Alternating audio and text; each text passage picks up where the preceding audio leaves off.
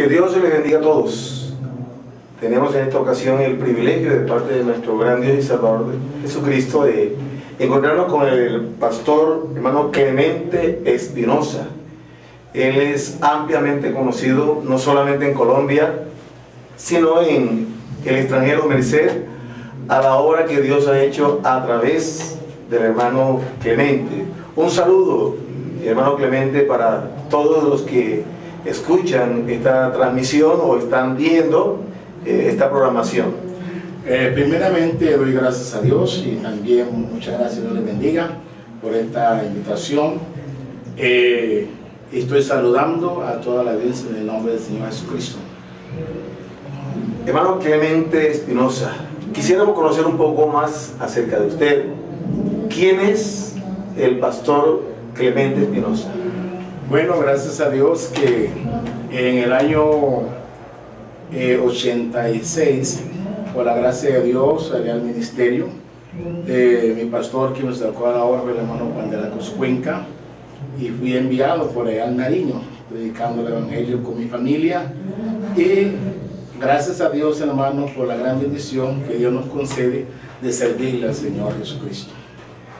Hermano Clemente, ¿cuánto tiempo lleva en sirviendo a Dios? ¿Exactamente cuántos años? Eh, unos 28 años, por la gracia de Dios. sí, pues. 28 años. Bueno, son muchas las experiencias que se viven en 28 años del ministerio. De tantas experiencias que usted ha tenido, pudiera compartir con nosotros una en particular que haya marcado su vida.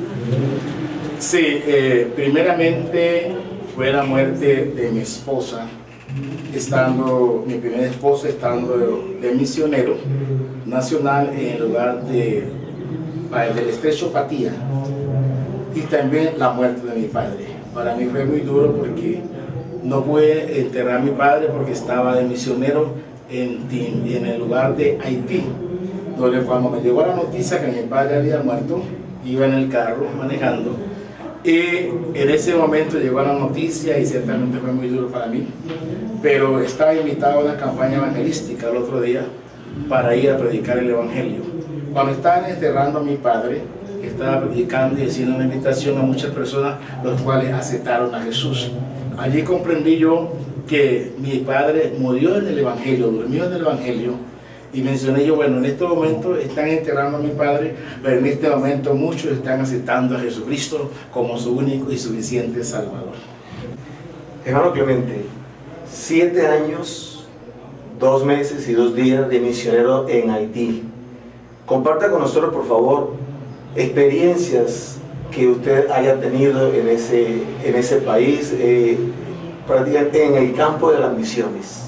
Sí, hermano, pues muchas. Pues doy gracias a Dios primeramente porque fui a reemplazar al pastor Tobía para continuar el trabajo, gracias a Dios también al consistorio, por tenernos en cuenta eh, con mi familia.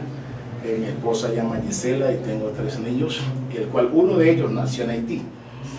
Inclusive que no había ni la nacionalidad porque éramos colombianos los dos y tuve que enviar a Colombia para registrar al niño aquí. Gracias a Dios por eso. Y acerca de una experiencia que tuve, que mi esposa fue a hacer un mercado y le pagaron un balazo en esta parte y salió por acá, fue un milagro del Señor. Cuando yo llegué al hospital, yo la encontré muerta, tendida en una sala, y ahí empecé yo a invocar el nombre de Jesús. Oré por ella y luego al instante volvió en sí. Se acercaron los médicos dijeron, bueno, ¿qué ha pasado? Y es que Jesucristo le ha, vuelto, le ha devuelto la vida a mi esposa. Nosotros somos servidores del Señor Jesucristo. Fue algo muy especial, muy grande. Además de esto, eh, tuve cuatro hospitales, los cuales dijeron los médicos, eh, hay que trasladar a otro país porque aquí no pueden hacer nada. Yo les dije, tenemos un médico que es Jesucristo, Él puede hacer lo que ustedes no han podido hacer, Cristo lo hace. Y gracias a Dios que mi esposa fue restaurada y hasta el día de hoy está bien. Gracias a Dios. Gracias a Dios por esas bendiciones, porque nos guarda. ¿Cómo está actualmente la obra en Haití, después de este tiempo de trabajo?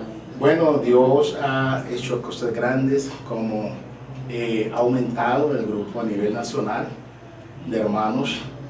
Eh, por la misericordia de Dios hay unos 200 y pico de hermanos a nivel nacional.